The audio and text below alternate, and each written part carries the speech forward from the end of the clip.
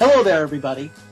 Welcome to Things We Said Today, our weekly Beatles podcast, in which we discuss uh, virtually anything in the in the Beatle world, both uh, the group's history and uh, also what's uh, what's going on today, which is in fact what we're going to be talking about uh, on this on this episode. Uh, I'm Al Sussman from Beatle Fan Magazine, and I'm here with my three cohorts. Uh, first, the uh, the host of the syndicated Beatles music show, Every Little Thing, Ken Michaels. Hey, Ken. Hi, Al. How you doing? How you doing? From Examiner.com, the uh, uh, the writer for uh, Examiner, Beatles Examiner, and any number of other Examiner columns, uh, Steve Marinucci. Hi, Al. Hello, Hey. everyone. And our uh, our resident musicologist, longtime contributor also to Beatle Fan Magazine, and uh, these days writing for any number of uh, publications, doing uh, doing classical reviews and such. Uh, Allan Kozinn.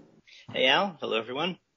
And on uh, today's show, we're going to be uh, talking about, as I said, we talk about things that are that uh, from the, the the group's history as well as what's going on today, and uh, we're going to be talking about something that'll be happening in, let's see, when this airs, it'll be exactly three weeks, uh, and that is the Chicago Fest for Beatles fans, which will be happening. Um, August 14th, 15th, and 16th at the Hyatt Regency O'Hare in um, actually Rosemont, uh, Illinois, which is uh, right outside of, literally right outside of Chicago, as part of what they what they call Chicagoland. And uh, and our guest is the man who um, who really created all of this, uh, who created uh, the fest, or as it was originally known, Beatle Fest, uh, and has been doing it for 40, uh, I'm, I'm losing count, 41 years. And that is Mark Lapidos. Hello, everybody. How are you doing? Good to be on. Hey, Mark. Thank you for inviting Mark. me. Hey, guys. Hi there. Uh, so, Al, first of all, it's less than three weeks already now. So uh, whenever this airs, it'll still be less than 3 you're weeks. absolutely right. You're the math major. Yes, I was. Yes. You know why I failed. So that's true. It'll be, it'll be actually two weeks when this airs on, um, you know, over this, over this coming weekend. Uh, so it will be two weeks. That's right. So, uh, why don't you give us, um, first of all, an overview of, uh, of what we can expect at the Chicago Fest this year? Oh, what we have this year, we have a really good lineup of guests. Bob Eubanks is our headliner. And a lot of people say, why Bob Eubanks? He hosted the Newlywed Game. He's a TV star. Why do we need, why Bob Eubanks? Well, the fans know who he is. He is the guy who was a radio DJ, sort of like Cousin Brucey on the East Coast. He was on KRLA in the mid, in 64 when the Beatles exploded and he wanted to make sure that the Beatles played Los Angeles. And I don't know why. He, I'm, I'm sure they would have played it, but there were a lot of bids out, and he wanted to make it so it was right. And he uh, approached Brian, and they talked, and they got they came to an agreement. And but he had to put up twenty five thousand dollars, so he had to put his house up as collateral. I don't know how his wife was happy or not happy about that, but he did it, and of course, it turned out to be one of the most uh, famous of all the Beatles concerts.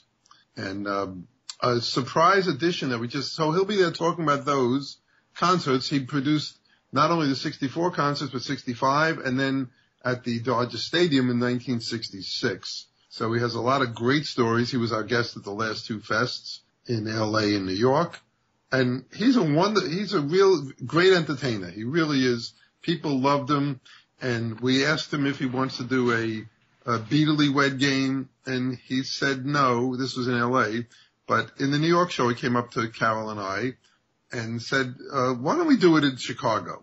So we are going to have the world's only uh, Beatley Wed game hosted by the only person who could host it and claim his show, Bob Eubanks. By the way, we should give credit that the idea for that Ah, came from our uh, occasional co-host here, Mr. Uh, Tom Frangione.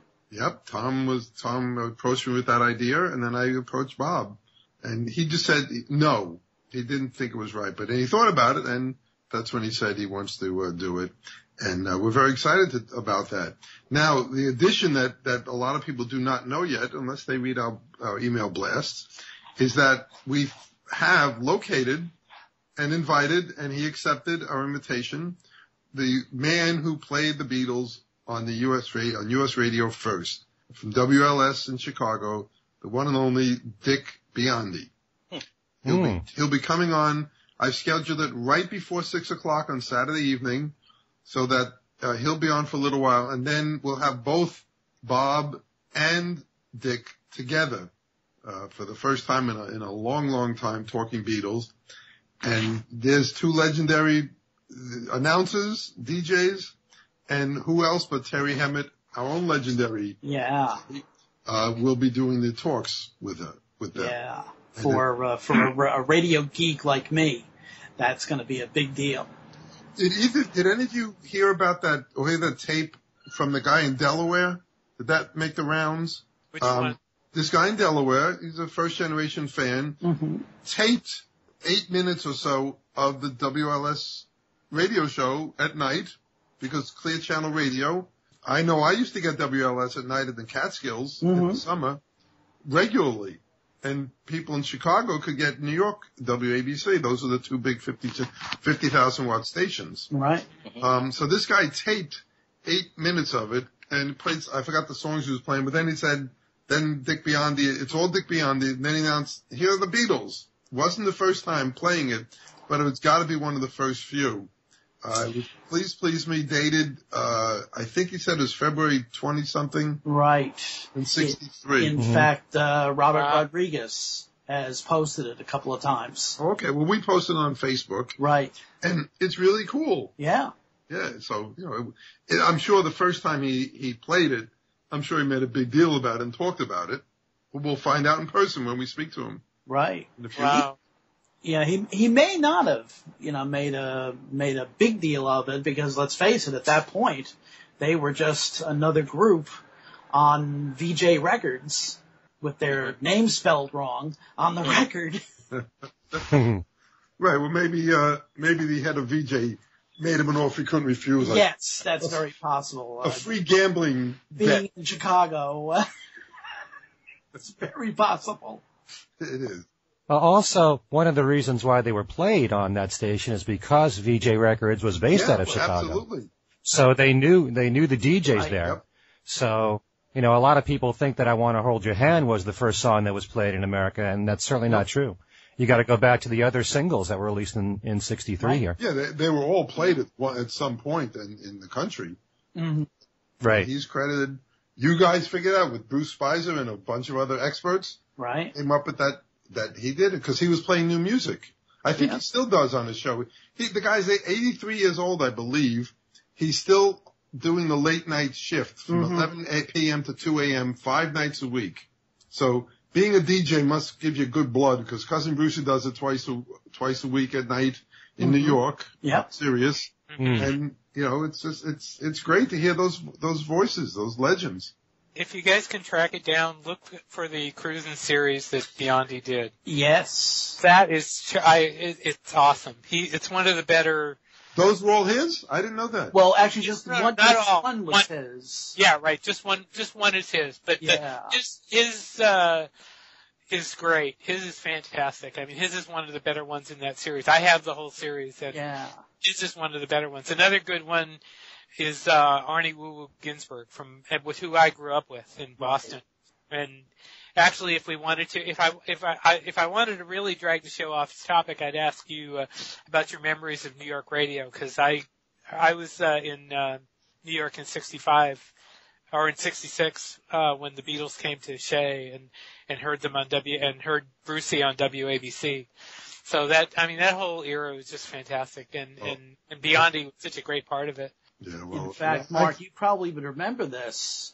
The night that um, uh, they were in the Warwick Hotel, and Brucey presented them with uh, the Order of the All Americans uh, medals.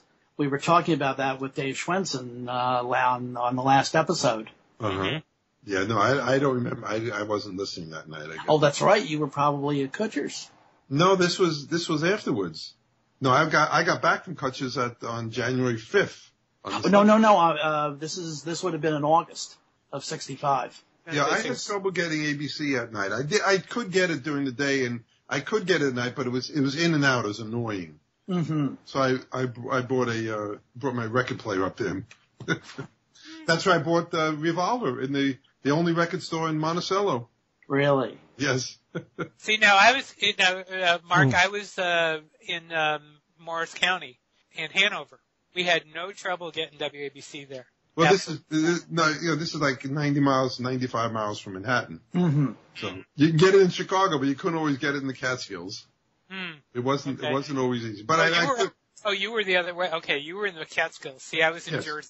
I right. was in- Jersey was much closer. Jersey. Mhm. Now we've totally gotten you off the track of. You uh, have. of So that was our first of guest. Let's see where the, let's see where the second guest will take us. Let me see. How about Louise Harrison, dear old Louise, George's sister, big sister, took care of him, nursed him back to health during their first arrival in America. And, um, she hasn't been a guest in 16 years, I think. Mhm. And she's always had her heart in the right place and she's very sweet and, you know, she, she doesn't talk out of turn and, but she tells stories and, um, she has a new book out, which I haven't had a chance to look at yet, but she'll be sh- selling it in, in Chicago. But she's just, uh, you know, I'm glad we're having her back. It's, it's been too long and Mhm. she always, everyone, uh, you know, she raised a lot of money for awareness for, for good causes and uh, raised money for good causes. So we're, we're thrilled to have her back and I haven't seen her in a while and look forward to seeing her again. Mhm. Okay, next we have we have a musician who's one of the top musicians in the country, Mark Rivera. Almost needs no introduction, but he is amazing. When we had uh, Laurence Juber and Mark together in March in the New York Fest, it's like Right. the two guys at the top of their craft in the in the whole country, maybe the whole world, and they're playing together and they're feeding off each other. I remember the Saturday night. Al, what song was they? What, what song were they doing at that moment? Ken, were you there? Uh, I was It there. was it was magic. It was Well- one so it was it was with Mark Hudson.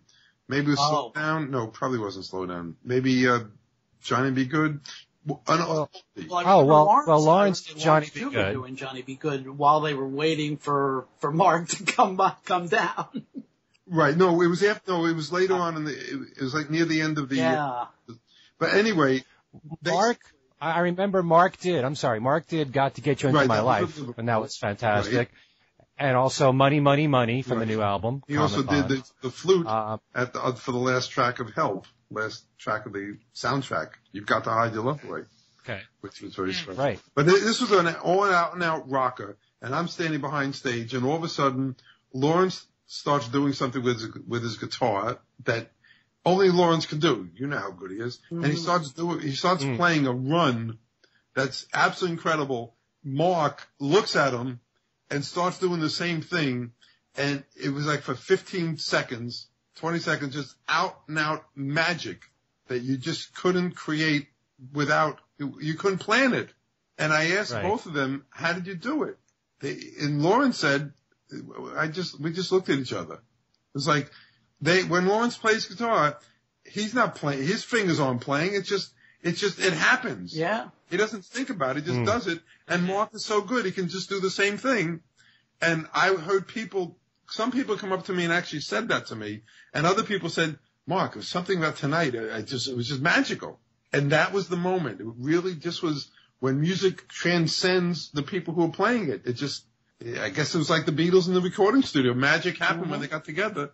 But here are these two guys, Lawrence and Mark, and it was just absolutely breathtaking. I should actually show it in the video room if I can find it in time. Mm. hmm So Mark will be there, and we have some surprises, musical surprises that I thought of that the Beatles may have played in the Cavern or the Hamburg days. I haven't seen it written down anywhere, but I don't want to give it away, but I Mhm. believe they're going to do at least one of the two songs that I suggested.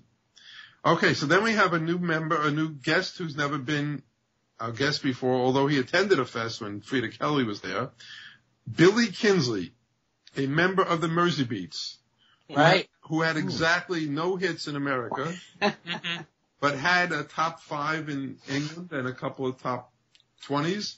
Hmm And he had the, he became very friendly with the Beatles. He must have played opening the bill for the Beatles maybe 30 or 40 times and got to know them and is a native Liverpudlian and he's got some great stories. People like Freda and uh, Larry Kane have been telling me for years, you got to get this guy. So we got him, and he's he's a name that nobody really heard of here, but once they see him, we're gonna love him. Well, he was all he was all over good old Freda. He was in good old Freda Mhm. uh, quite a bit. Yes, he was. Well, that's why that's why he came to the show to to uh, cheer her on. Right. We got to meet briefly, and then um, this has been a couple of years. This that was the first time, so I think it's been about four or five years since he came, he came to the New York Fest, and now he's going to be a guest. Hmm. And next guest, the man who replaced the one and only Graham Nash in that lovely group called the Hollies, Mr. Terry Sylvester. He was our guest, I think, seven seven years ago. Something like that. Yeah, a very nice Mhm. guy, a really Mhm. sweetheart. And you know, he he sang lead on uh, what he ain't heavy and Long Cool Woman or co-lead harmonies. You know, Mhm. Those were his. And you go way back. He's also a Liverpoolian. You go way back to the Hippie Hippie Shake, which of course the Beatles recorded at one point. And uh, he sang lead with um, Boo, Blank Mind, Swinging Blue Jeans. Thank you, thank you. Blue Jeans. Brain cells are not what they used to be, of course. Oh, I know that. all know I that. know that situation. Okay. Yeah. Oh God, don't go there. Don't go there at all. And the next guy, he also was uh, in LA for, the- I guess, for the first time and came to the New York show. The former president of Apple. He's got great stories. Jack Oliver, a nice, very nice guy. Uh, I think he's a Londoner. Because he got the, how did he get the job? I forgot how he said he got the job through, through, um, Derek, possibly. I think so. Yeah. and he just worked there for a couple of years, and then they made him president in '69. So the heyday of uh, of Apple, while the Beatles were still together, and then uh, you know the two years that that followed, he's got great stories, stories that that other people haven't told before. So so he's he's a he's a really good guest, and I didn't see him when I was there in June of '69, but I was looking for him. I was looking for four other guys. Found two of them, which was not so, which was pretty good, to say the least. Yes. Yes. That's John and Ringo for all you listeners there. Right. Oh, Friday, okay. 13th, 1969 is when I met John Lennon for the first time. And, uh, that's, I asked, after that I walked around London. I went with my friend and he's a, he's a, he was a big Beatles fan and, but not a, not a Beatlemaniac. So I'm walking around. I shook, I shook one of God's hands tonight. I got his autograph, got his picture. I want to work for the Beatles. well, five years later, something happened. So there you go. But we uh, progress and digress. Let me continue. A guy who probably no none of you ever heard of. He never he's never been there before. A guy named Mark Hudson. Mark is our what has he done? I don't know. He does a lot of stuff, but he really is. He's very musical, now, musically knowledgeable. He loves. He's really a hardcore fan. There's no question about that. And he start. We started something a year ago with him. In addition to all the other things he does, which is the, the jams at night, the Sunday hmm music uh, musicians forum, which is Oh yeah, which I love. it's always a highlight of the weekend. Mhm. It's all the musical guests and puts them all together and comes up with topics to talk about and like maybe uh, rockabilly or R&B or Motown and how it connects. And uh, Right. he's doing a session called that I named called "We Can Write It Out," where eight people can come and sign up. It's thirty dollars a person. There are some spaces left on, I think one or two on Saturday. That's it, and a couple more on Sunday. You sit down in the room with your instruments, and you all together you'll write a song within forty-five to sixty minutes, and then he sends the song out to all of you, to all the people who participated, and it's uh, it's really wonderful. You get a chance to work with a, a famous producer. This is Mark Hudson is a famous producer. Ringo and Ozzy and Hanson, number one song, and and uh, guys called Aerosmith. You know, not too shabby. No, Mhm. So no, Right. not at all. Not at all. not at all. So Yeah. so he's always a, a handful and lovely to have him there and part of part of part of our circus. We'll call it a very good part of our circus. And of course, we have Liverpool returning. They've been with us for so many years. They don't want me to tell anybody how many years. but it, it started in our fifth year, and uh, two of the original members are still there, Drew and Chris, and the lineup now with with Glenn and John. It's really the the best lineup they've ever had, Absolutely. and they're the best. I mean, they they only play the fest basically, and it's it's very special. But you know, I know there's lots of other bands out there, but none like Liverpool. The only one who comes close is Fab Four, who are also terrific, but they use 11 Mhm. musicians. Yeah. Right. And Mhm. Liverpool, and they don't try to vocally sound like the Beatles. They try to get the music right, and sometimes the vo- vocals are pretty close, but they're not. It's musically they're trying to get right. Liverpool gets it all right. And there is an offshoot of Liverpool that also will be appearing at the fest. Who- Who's that, Al? Uh, a little group called the Weeklings. Ah, Recording Stars, owner of uh, the song that was voted, or that Little Steven's Underground Garage made Mhm, the coolest record of the coolest week. record of the week this year, coolest record in the world this week. Right. That's about three or four weeks ago. Yeah. And um, yeah, they were terrific. They really were very good in New York, and they wanted to bring them out, and we wanted to have them, so they're going to be playing on Sunday afternoon.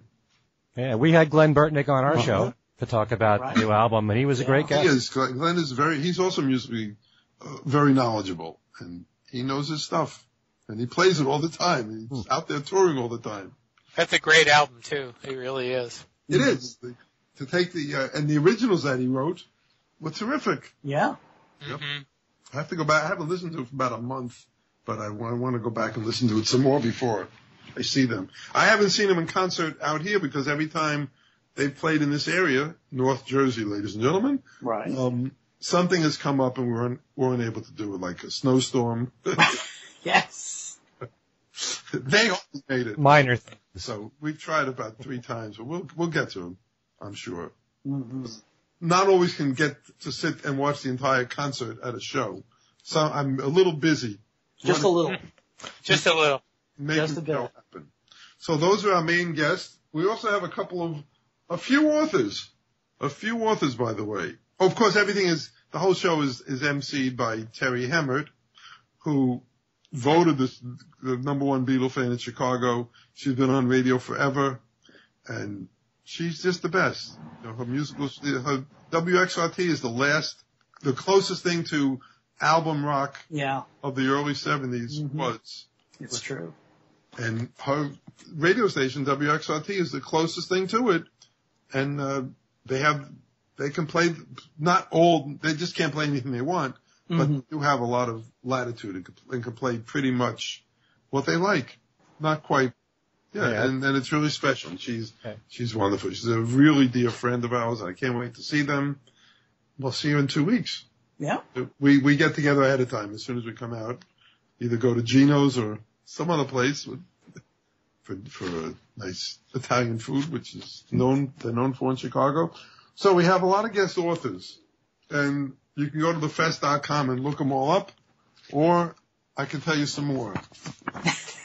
we have Al Sussman. Who?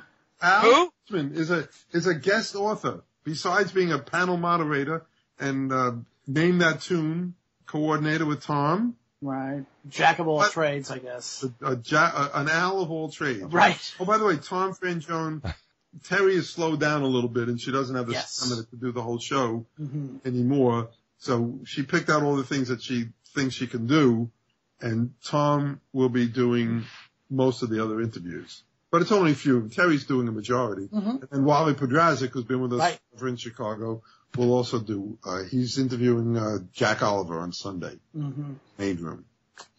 So we have Ivor Davis, Who is a trip.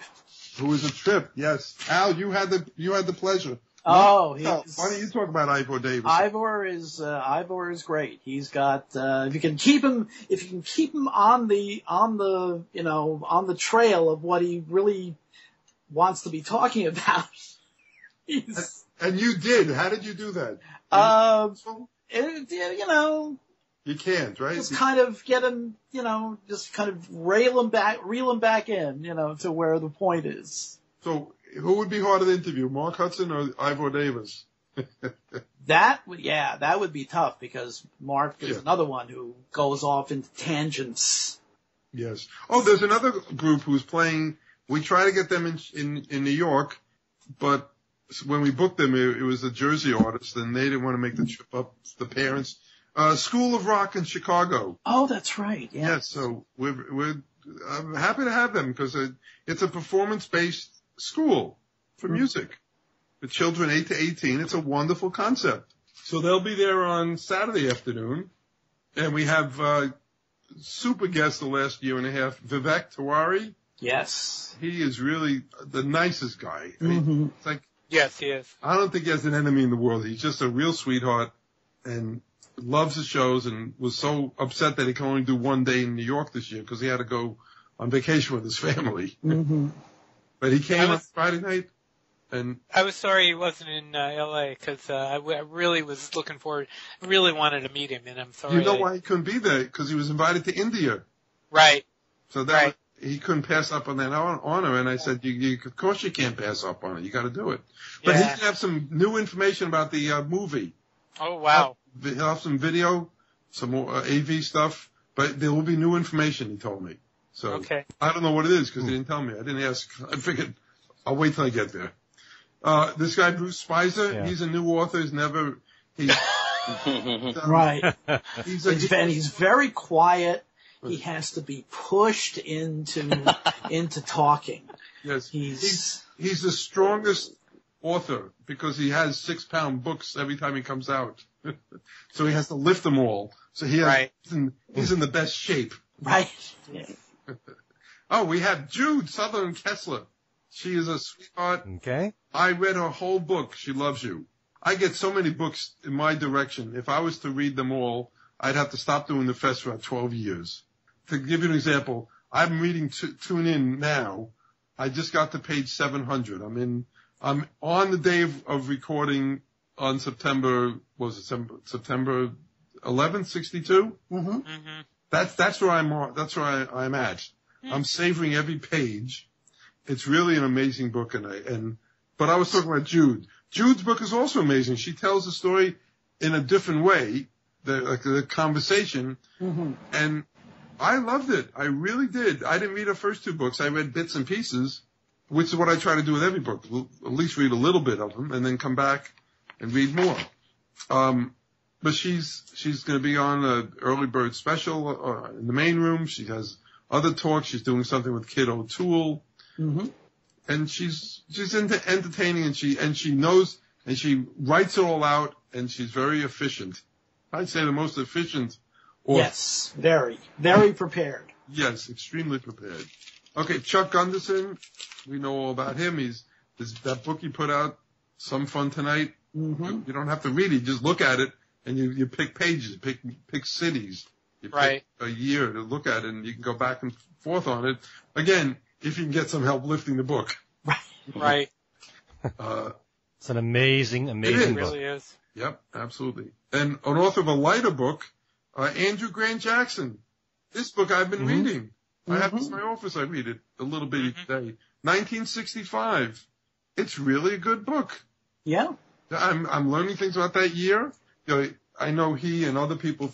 I know Lou Simon says 1965 is his favorite year in music. hmm We had a discussion about that in L.A. I think 64 was the best, but you know I may uh, change my mind. I don't know, but it's it's really well. I didn't I, the timing I didn't realize was so how things fit together so well, and you know some of the the writers I may not have known that they wrote the song at the same time as Dylan. That's true. Yes, very good. And his his other book, like Where's Where's Waldo, is Where's Ringo. That's a very popular book. We sold Mhm. tons of those at Christmas time last year. David Schwensen, 50th anniversary. You guys Yeah. know We just had him here last time. you did. Did you know that on August 15th, 1965, a lot of people went to see the Mets and they couldn't see them because the Beatles were playing there? Right. Actually, who would go see the Mets in 1965? Maybe that's how many games they won that year. I don't know. Ooh. They weren't so- Uh, no, they didn't win 65. They won 53. did they really? yes.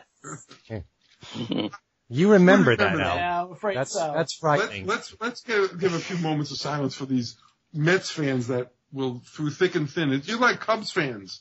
You don't have expectations except the Mets came through twice and won, which is good because I root for the Mets for the National League. But you know where I am. I was before I was born. I was a Yankee fan. Right, you, and- you and Allan. In the Oh, right. And Allan is now a, a, a a Yankee fan in Red Sox country. Yes, pretty much. Yeah. Yes, I'm fighting them all off daily. Okay. but uh, yes. So, talk so Yankees. Mark, I have a question. Um, you know, you've you've been doing these shows for now. It's going to be it's 41 years, um, and you've had every year guests kind of like the ones you've just run through, and um, sometimes more famous, less famous, closer to the Beatles, further from the Beatles, what, whatever it is. I was just wondering if you've um, if you've taped all of these things archivally, if you have a, a, a backlog of all of the um, information that has been and, and discussions that have taken place at the fest. Uh, yes, I have. I don't think I did it in 74 or 75. Mhm. It was before tape recorders were invented. Yeah. Right. But I think I have everyone since. We've been taping, we, it's for the archives and somewhere in this house, they all exist.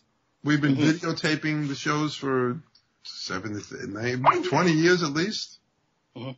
And, That uh, can be, a, you know, a pretty valuable resource. You know, I mean, a lot of people who've come and and uh, spoken. Probably a lot of them, you know, some of them aren't around anymore, and the information that yeah. they've given or is, you know, is, is now archived. That's that's a good thing. Well, one of the things I was I was thinking about, Al Al knows that I've been thinking about writing a book for for 15 years already.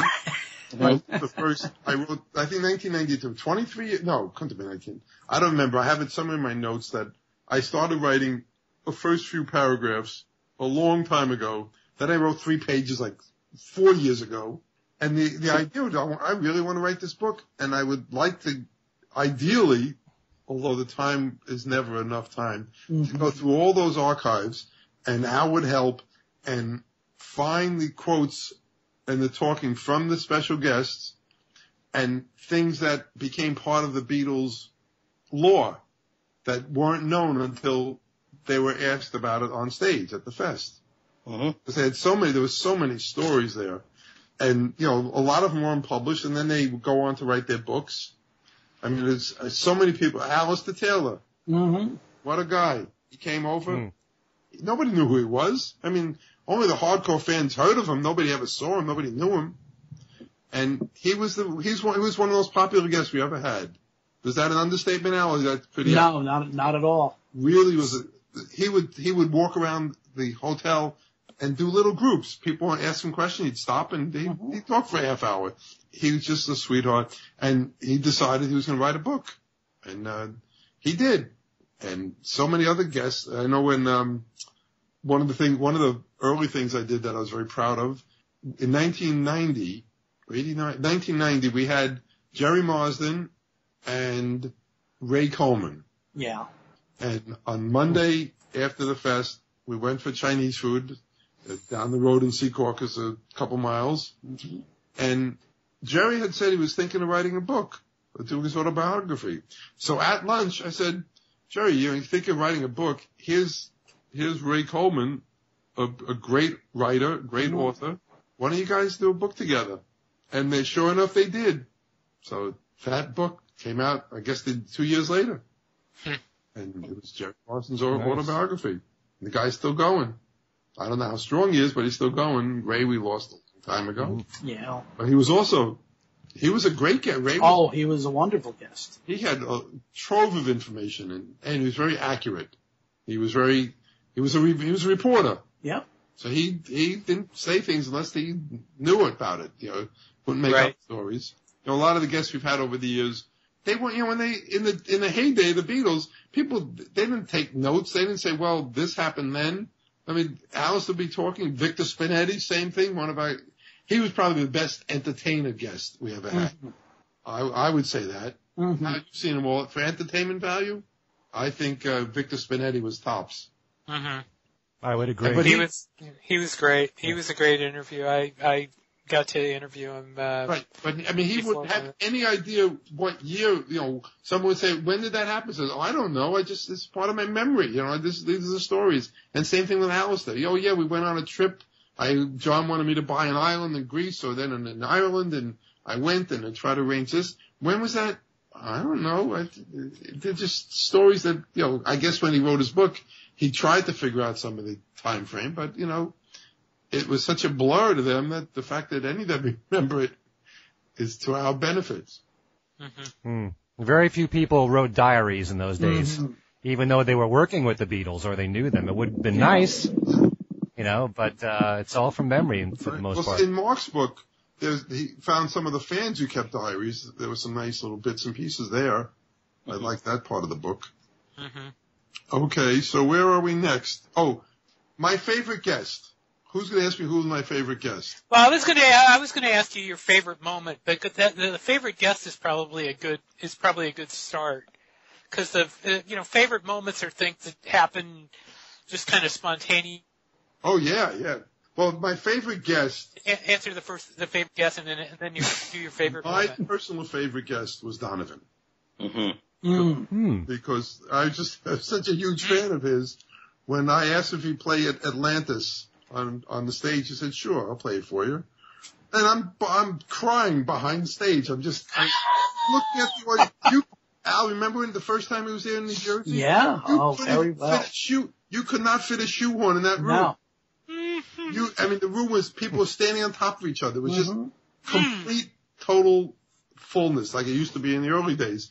Wow. Donovan's playing his, all his songs, and with Liverpool they were great. Then he does Atlantis, and and I'm saying, oh my God, look at this. room. Wow. I'm watching Donovan play at my show, Oh my God. my god. song, and it just, I just couldn't, I just lost it. I just, it just really got to me. And he's just such a nice guy who would play, let me play his green guitar. He came up to the room, came up to the staff party and played, I don't know for how long, an hour at least, At least. at least an oh, hour. Oh wow. just Wow. magical, just just totally magical. And the way he, one of the things he told us, it's a life lesson. This is a real good one. He said, when I'm talking to somebody, someone comes up to me and wants, wants to talk to me, no matter who it is, that's the most important conversation in his life at that moment. Mm.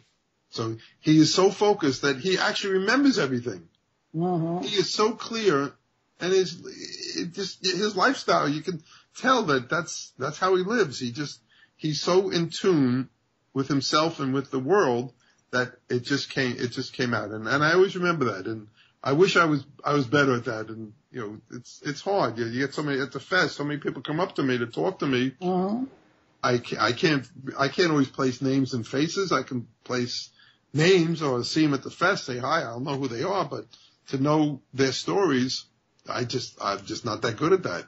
But here's Donovan, you know, international superstar. So my favorite, Ken, that was your question, was that Steve? That was Ken. Steve. No, that was my, that was that was That that, was was, my Steve's. question. Favorite moment. Favorite moment. Well, the Donovan moment was, was definitely one of the favorite moments. Billy Preston. The man was dying. I Yeah. saw him in his room before he went downstairs. He could not get out of bed. My Mm. brother-in-law is a doctor, sat with him at the side of the stage before he was going on to do a 40-minute concert. He couldn't, ha- could hardly get up on the, the, those three steps. So they introduced, he sort of like Mm. just hardly moved. He got on the top step and, and leapt forward and did a 40-minute concert that was magic. I can't say it any better than magic. And what happened when Cal and I walked him arm in arm to the to the signing table down the hall to Jersey, people coming up to him and just like like it was like it was a Beatle. hmm Like Mhm. like Paul McCartney was there and saying, I I can't believe I, what I just witnessed. It was just something about it. Maybe he just knew that this could be the last one. hmm He died four months later. Something like that. Wow. I think he had one, only one or two other appearances in the Mm. world. hmm He went to Germany right after that and did a small I- thing. Yeah. But I think he knew, and he just poured his heart Oh out. wow. And Wow. for 40 minutes nonstop, this guy who couldn't get out of bed, could hardly get on the stage, but you call his name out on the stage, he did what he had to do. and that's that's that's a human spirit that that you ca- you have to see it to believe it. And we couldn't believe it, Mm. and yet it, ha- it was happening right before our eyes, and the audience knew because they never came out. I've walked many guests to the tables; they didn't come up to us and go swooning, and no matter who it was, but they're talking like like this was the greatest moment they ever saw. Mm. It was really incredible. That was a great moment. Going back Yeah. a long time ago, 74, I could hardly get on the stage. I was so sick, nervous. hmm What am I doing? How did, how did, what's happening? Is, is, the doors open? Uh, Is, did the show start yet? I'm with Tony King, Apple's official representative, hmm and he tells me, he gives me, gives, shows me all the instruments that, that, uh, we got, uh, that for the charity. And he gives me a six copies, shows me six copies of the Penguin John Lennon that John signed to be auctioned off, uh, auctioned. And John signed the seventh one for me, personally, which is still the most valuable, the best possession I have. hmm And Wow. He, he tells me these words. Meanwhile, I'm sitting there knowing the show is just about to start, nervous as can be, almost throwing up. And he says, John wants to come down tomorrow night to pick the winner of the charity raffle. And I'm saying that so clearly. I only told two people. And one was a, a, a New York City policeman who I happened to know from Kutsher's as a kid. We grew up together Mhm. every summer. So we mapped it out through the through the kitchen. We had set up a microphone in the balcony, and nobody knew it was there. It was hidden behind the screen. And May May Pang was his representative. Came down Saturday with all those pictures from Jurgen Vollmer. That, hmm that was Mhm. directed. Jurgen lived in the Bronx. Said, Mark, uh, I have all these photos. What do I do with them? I said, why don't you send me some, one of each? So he sent me like, I guess 10 or 11. No one, they were never published. Nobody ever saw them. I said, make copies and sell them at the show. So he did. And that's when uh, May bought one of each. John saw it that night and said, that's the album cover. Mm-hmm. I'd like take credit on that for being, for making, arranging that happen. John got cold feet on Sunday. Uh, maybe May Pang or Jim Kerr announced it on the radio that it was very crowded, which it was, of course. Sure. So, or he just got cold feet and went up to his farm upstate New York the next day. So he didn't come down, but it was the, I mean, Jim, Jim Kerr was, was announcing on the stage, I hear rumors that John's in the lobby. But Bob Gruen told me this just last year. He said, Mark, I went into a phone booth. For those young fans listening out there, What's a phone booth? there's, there used to be telephones that Right. attached to a wall. You put in the dime and you dial it by hand. Anyway, he said, I called John from the lobby of the Commodore Hotel to tell him how great a show was and he should come down. Hmm. So I, and I just found out a year ago. Uh, the other great moment, another great moment was in 75 meeting Mal Evans. Mal, he paid me the greatest compliment I ever had in my life. He said, Mark, this was the greatest weekend of his life. And I'm saying to myself, what I would trade for any one of his weekends in the 60s. Nobody knew who he, everybody knew the name, the fans knew his name. Nobody knew him. Nobody ever saw him. Hardly any Right. pictures of him. Uh, I'm, I'm guessing Magic Mystery Tour, we didn't have any idea who Mal Evans was by picture. We didn't know he was in the back, background Hmm. or in the bus. He just wasn't a known person. Sure. There he was, people lining up long lines for autographs, and he was telling these stories. And then during Magic Mystery Tour at night, the movie, I'm sitting with him. He's telling me what's going on behind the scenes. and all the, like, he keeps talking to me, Mark. Oh, this is Paul. Oh, when we went to when we went to England to France, we didn't have a passport. We didn't have a penny to our name. we just went. we didn't. God. It was freezing. Mark was like 30 degrees. We're freezing our asses off. and he's telling me stories. I wish I would have written them all down. So those are some of the highlights. More recently, well, there were just so many. I mean, I, I've, I've been so fortunate to meet every single person involved with the Beatles story except Brian. I mean, Right. you name him, I've, I've met him from the Beatles to George Martin to, to all the people who worked there, to all our guests. And I, I just feel very fortunate that, and the fact that I was able to bring so many people, it added to the to the historical importance of the Beatles. I mean, my my mother, rest her soul, hmm she always said, "Mark, you're the reason that the Beatles are still popular." She said that all along. I said, "Mom, thank I maybe I'm helping a bit, but they're still around and they're still playing music and they're uh, they're the reason." We just I, I got, I got to share a story that happened one of the at one of the LA fests. Mark, I've told you this before. I was walking by the auditorium and I hear this music that I recognize. Uh, I hear this voice singing "Kicks," and I'm going. That, that, sounds like Mark Lindsay. I open the door. It's Mark Lindsay, and I'm and I just absolutely go crazy because I am the biggest Paul Revere and the Raiders fan. And as soon as he came off stage, I ran down the hall, uh, held held a program in his hand, and got him to sign a, an autograph. And I was just absolutely uh, thrilled. And my friend who was with me, named Joe, who's probably listening, Joe, if you're listening, kidded me about that uh, year for years, and he said you went absolutely crazy, and I did, and I did. we, we had Phil Volk show up a couple of years later. oh wow. We- We met him at, Hmm. at Disneyland. He worked at Disneyland. Yeah, you- you know, do you know, do you know, on our honeymoon, you met my wife in LA. Yes. On our honeymoon, we were at, we were at the Tomorrowland Terrace and we were watching this group play and I was going, you know, that looks like Phil Volk and Paul Revere and the Raiders and this guy doing the electrical stuff next to me said, yes, it is him. And they actually let us downstairs below the stage and meet them. And it was him and his wife from, uh, Where the Action Is. But, oh my god, that was, uh, but, yeah. Yes, those were good days. So we have, I haven't, I told you all the guests, but we haven't said when the Chicago Fest is. Or Al, you did. You When did. is it? It is August 14th, 15th, and 16th.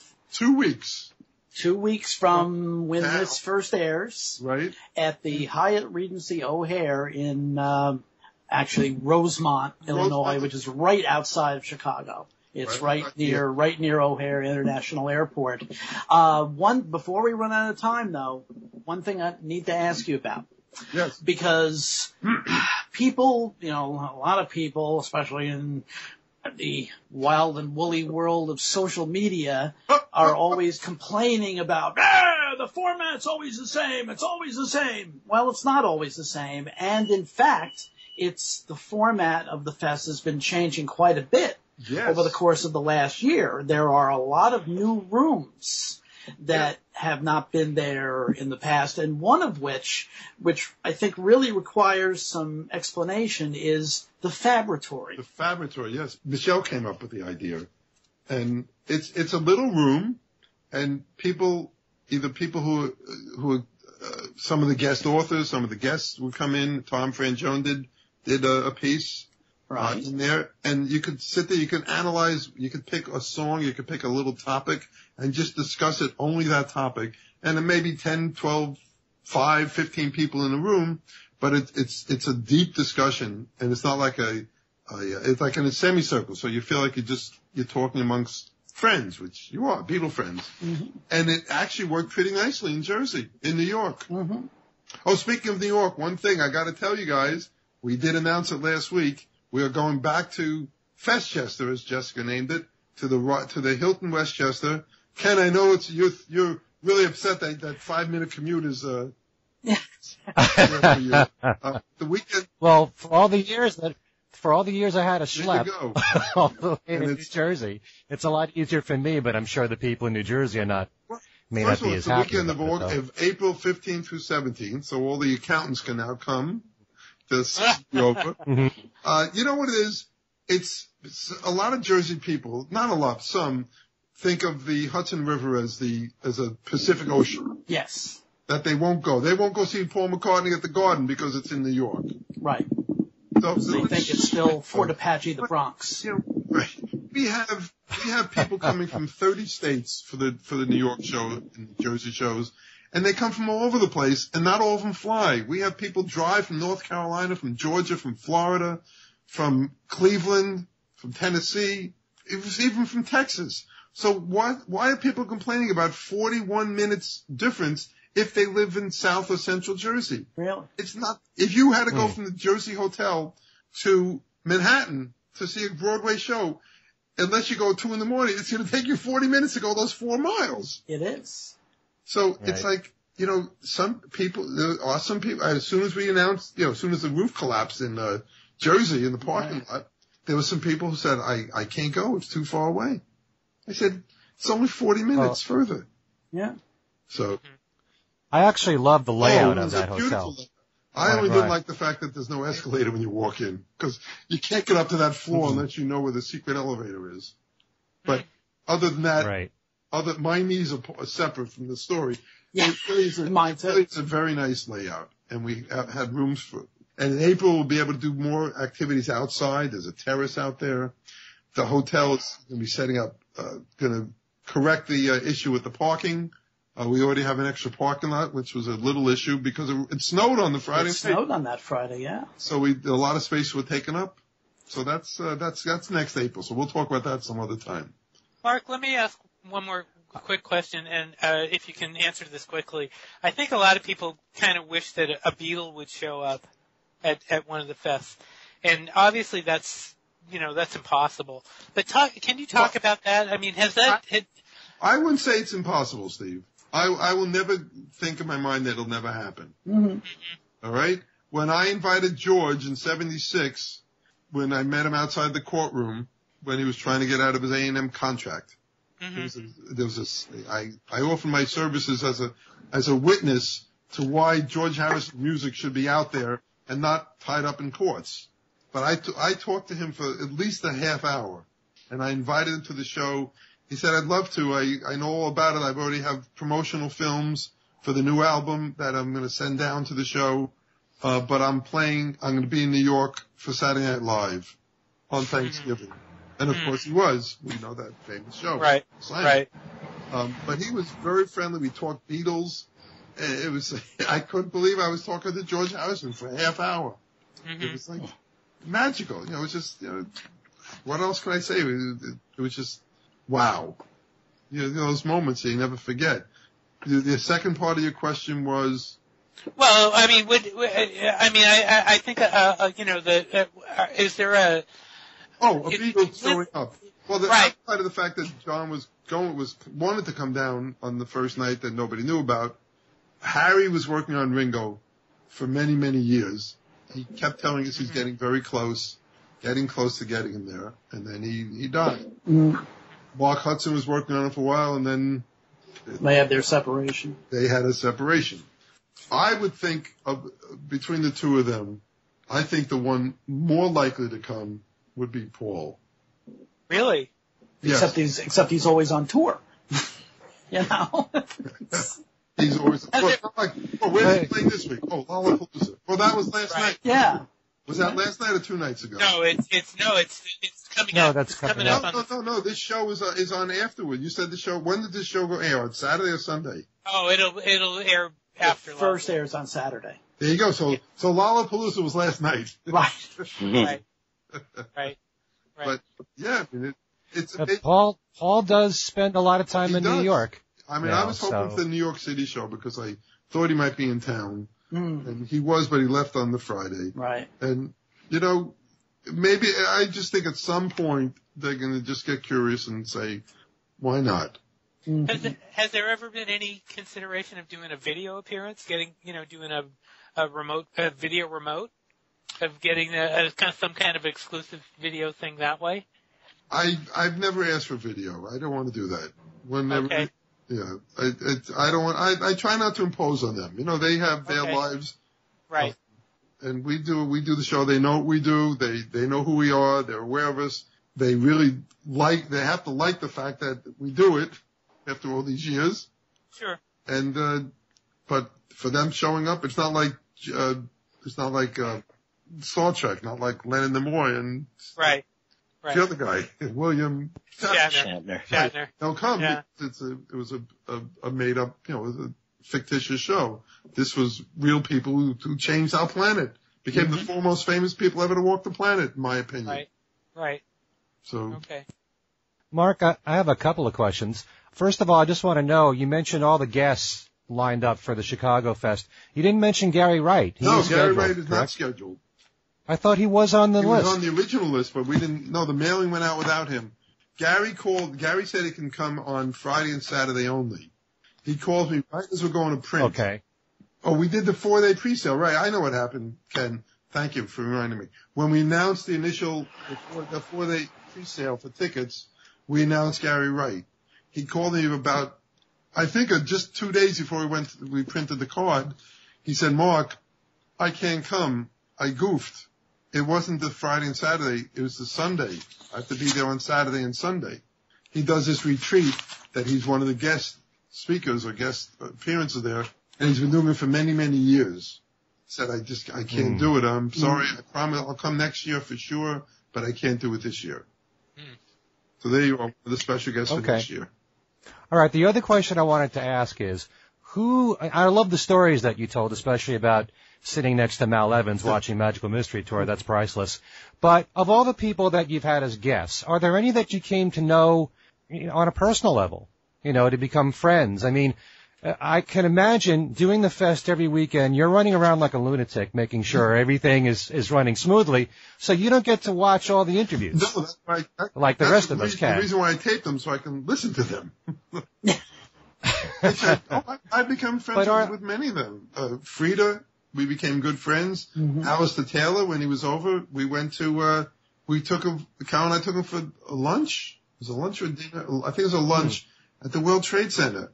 And it was the only time I was ever up there, Oh, nice. Mm. believe it or not. Mm. That was 1984. Mark Hudson's a good friend. Louise, we, we got together with. The, Harry, of course. Harry many times. We were we were at his house. Oh, Mhm. party. We were, I went to a Harry Nilsson party and survived. Oh my God. Oh my God. it was just a, a an A Maybe- list. And Penny Marshall was there. Shari Lewis was there. Um, Stephen Bishop.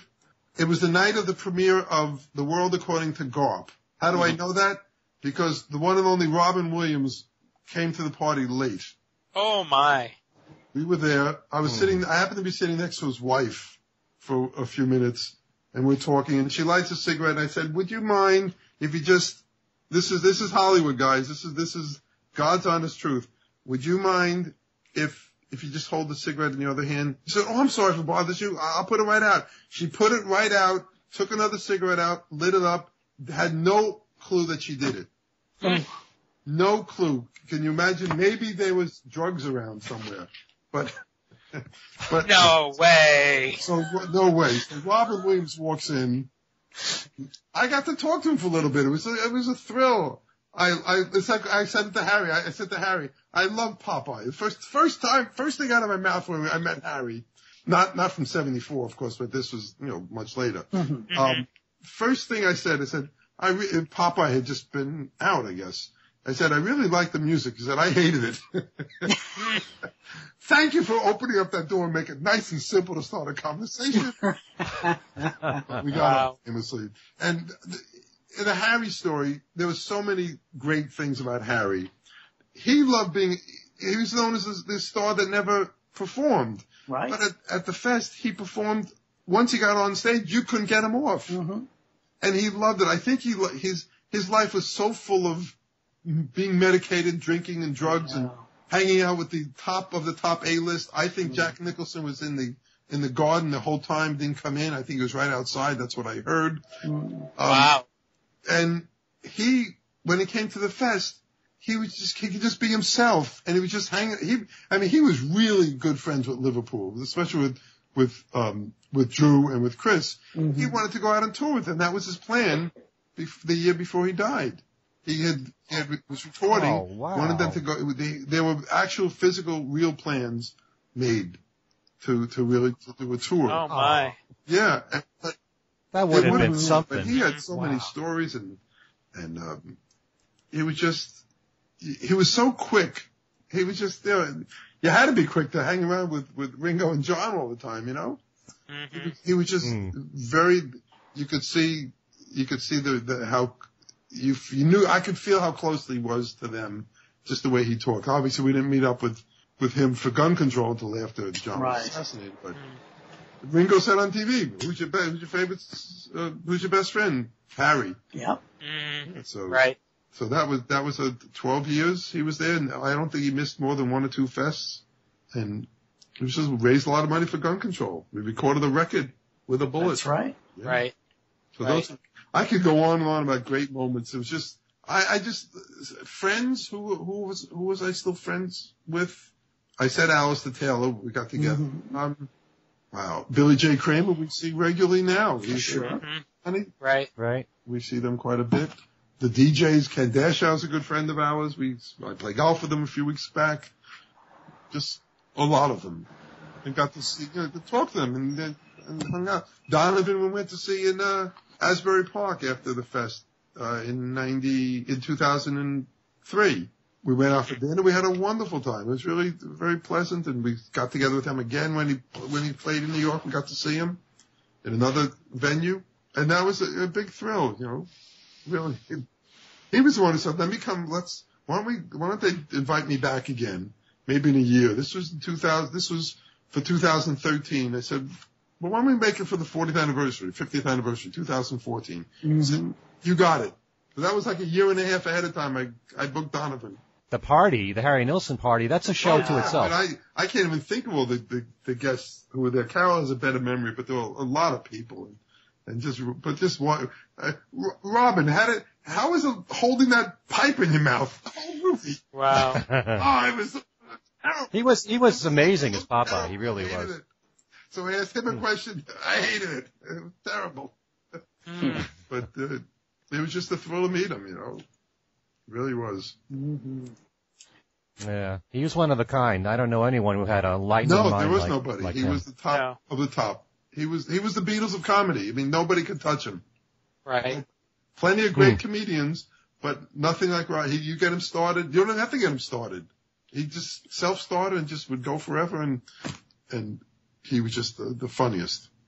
So, If you've ever seen Inside the Actor's Studio Oh, with Robin God. Williams, which they had to make a Oh, three-parter, God. yeah. you know, he's asked one question, he goes off for half an hour. You don't even have to, you don't even have No. to say anything. It's, it's very special. We miss him. Miss him terribly. Definitely. Sure. Absolutely. Yeah. Yeah. Well, guys. Well, this has been a uh, the show. incredible hour. Uh, you know, uh, it's it's un, it's it's unfortunate that you're so withdrawn and you have nothing to say. I'm a very shy guy, aren't exactly. Thank you, Mark. yes, thank you Al, we'll very have to, very we'll have to do a show, a Sam Goody show at some point. Yeah, one of these days we'll have to start telling old Sam Goody war stories because uh, you know tr- um, Mark and I have been friends and colleagues and whatever for uh, nearly 45 years. As You started in 71, right? Seven, oh, I started on 11 17 70 Really? because your first Mike Kaplan's son was born. because your first order to me, well, two first orders to me. Tell, tell the audience what my first order was. First order was never run out of Beatles records. There you go. The second order was that I had to listen to a concert that night on on the old WABC FM in New York by this new singer-songwriter called Elton John. Right. And that was the concert that became six or seven months later, the Okay. 11, 1770 album. And that, and we, Mike Kaplan, who worked with us, his son was born on that day. That's right. Yep. That's also my my birthday. Is it? Is Yes, it is. Really? Yes, it is. 1970? No. No, no, no, no. A little sooner than, a little earlier than that, but yeah. Anyway, Well, thank you guys. thank, thank you, Mark. Al, Very Al. Thank you, Mark. I will see you in two weeks. I will see you in two weeks. Guys, Absolutely. we'll, we'll try to see you, uh, well, at least, uh, maybe Al, Al maybe come down next year, and I'm sure Kenya will see you next year. That's, Yes, you'll see me and Ryan. um, we'll see everybody else who's anywhere near Chicago. Well, people are signed up from 30 states and three continents, so anywhere you listen, folks, if you haven't signed up, you haven't been to a fest, what are you waiting for? There's still rooms left. And the first, There the go. first one is always great. Yep. Yes, So it's they uh, are. August 5th, uh, 14th, 15th, and 16th Yep. at the Hyatt Regency O'Hare in uh, right outside of Chicago. Yep. And uh, go to thefest.com for all the details. Right. There Guys, thank you very much. Good night. Thank you very Good much. night, Mark. And uh, Thank, you, Mark. guys. Peace and love. Peace and love. peace and Peace love. and love. Allan, Steve, Peace and and love. Thank you. Thank you, Mark. Thank you. All right. Keep up Thanks, the good Mark. work, guys. Okay. Good night. This, care. is- this has been a blast for uh, for Ken Michaels, for Steve Marinucci, and Allan Kozinn. We will see you next time.